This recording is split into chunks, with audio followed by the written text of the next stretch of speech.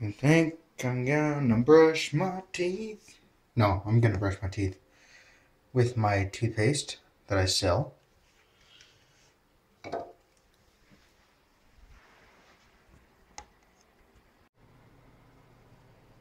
There is no way it is 18 degrees Fahrenheit outside. I mean, look at how bright it is. It's really, really bright. There's no way. Does that look like 18? Oh. Oh, my bad. I better shovel the walk then. Riding my bike outside is not going to be fun today. One of my all-time favorite songs from Pillar, Frontline. Heck yeah. So this is technically our fourth month of the winter season in Wyoming. Typically how it is actually. Now people always like, oh well it's more extreme than it used to be. It's really not.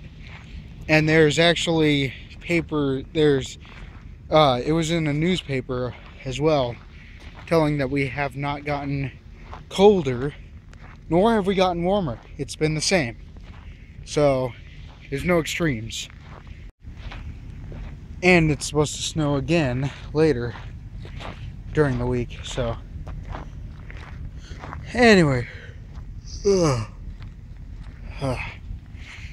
Going into a place that I don't like to be in. But it's the only store that I can walk to with it being at like 10 degrees and I have no, you know, real protection. I barely got a jacket on, that's pretty much it. So, people who know me know I love my cheese. So I went over and got some extra sharp cheddar cheese, Tillamook, because it's supposed to be the uh, all natural kind aged over 15 months. Yeah.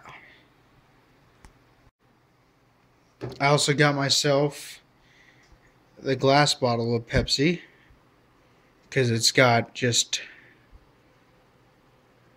sugar instead of high fructose corn syrup, which is nasty stuff for you, really. And uh, Tai Pei chicken fried rice. Great stuff. And you can get a fortune